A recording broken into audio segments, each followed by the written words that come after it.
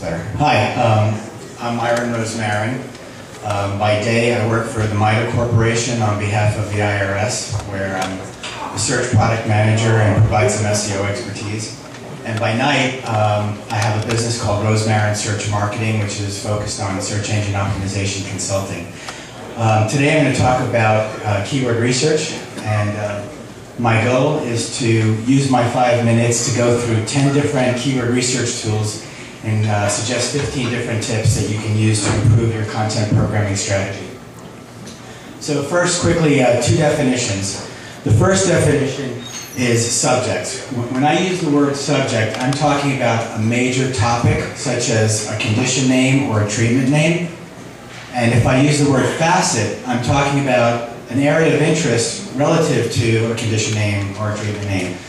So, for example, a facet for a condition would be symptoms of or causes of, and a facet for a treatment might be dosage or side effects. Okay, so the first tool, and easily my favorite, is Google Autocomplete. And basically how this works is you go to the search engine and you start typing, and stuff appears. Uh, and my recommendation would be if you're looking for the most popular facets for a condition name, simply type in the condition name and Google will present the 10 most popular facets for that condition. Likewise, if you want to know the most popular facets for a treatment name, just type in the treatment. Uh, in this case, prednisone, and you can see facets like side effects and dosage show up as some of the recommended facets.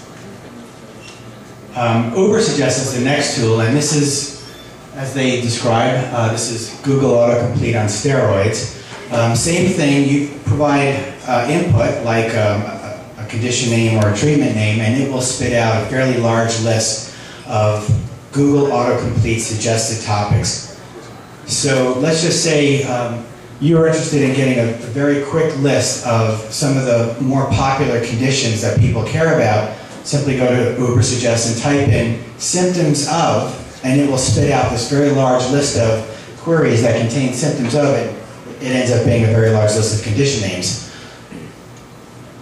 Likewise, um, if you wanted to get a, a, large list of popular treatment names, simply work with the facet side effects of, hit enter, and it'll give you this large list of treatment names because of the correlation between side effects as a facet and these treatment names. Um, a very simple tool, if you wanted to get a, a list of relevant search terms for a subject like breast cancer, just do the search, Scroll down to the bottom of the search results page and you'll see a list of related search topics. Um, but for a more complete list of search terms that are specific to a category, I recommend this tool. This is Trellian Keyword Discovery. And uh, there you can actually navigate through a taxonomy, which is the Open Directory Project's taxonomy. And if, let's say, you're interested in allergies, you can simply navigate to that category and see a list of the keywords that drove traffic to websites that have been categorized under the topic of allergies. Next tool is Alexa. I don't know if uh, some of you have heard of Alexa. This is a great tool. Um, let's say I want to know what are the trending topics at the cdc.gov. So I simply navigate to cdc.gov, click on Search Analytics, and if I scroll down the page, I'll see not only their trending topics, but also search terms that are in decline. Further down that page, I just want to see what are the most popular search terms that drive traffic to CDC. There it is on the bottom of the page. Okay, another great tool is Google Trends. Um, what this will tell you is um, sort, of, sort of a cyclical nature of a keyword. So in, this case, I typed in the word hay fever, and you can see that every June of every year, hay fever spikes. Um, and likewise, in the winter months, uh, nobody's really searching for hay fever. You can also use uh, Google Trends to compare two very related or synonymous, uh, syn synonym, forget synonyms. And um, you know, words like, um, what's more popular, colon cancer or colorectal cancer? And as you can see from the chart, colon cancer is about six times more popular than colorectal cancer.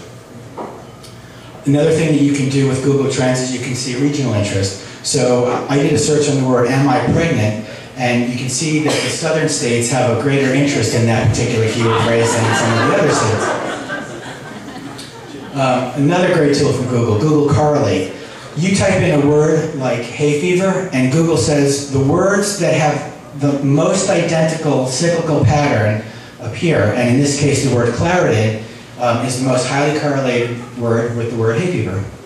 And obviously, you can play with this and spend lots of time doing nothing. Um, let's say you want to know what is the estimated monthly search volume for a keyword.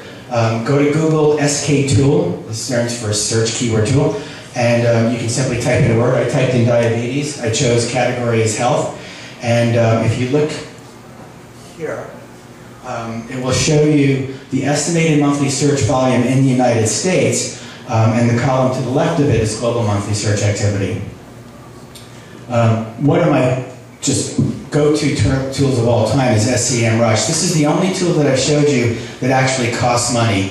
Um, this costs $70 a month, but it's quite powerful. And basically what I'm showing you here is how can I see what are the top keywords that drive traffic to, let's say, a, compete, a competitor's website or a website that I care about. I typed in webmd.com and it, it's spitting out a list of the top keywords. And for 70 bucks, what you get is the top 10,000 keywords that drive traffic to a website. Um, this is the last tool. Um, let's say you're interested in a particular topic. Uh, in this case, I'm at the CDC's page for HPV. Um, all I want to know is what are the words that are most commonly used on that page. I simply cut and paste the URL of this page and I type it into um, SEO Book's keyword density tool and it gives me a list of the more frequently used words and phrases on that page, how often they appear, what their keyword density is. It's a great tool.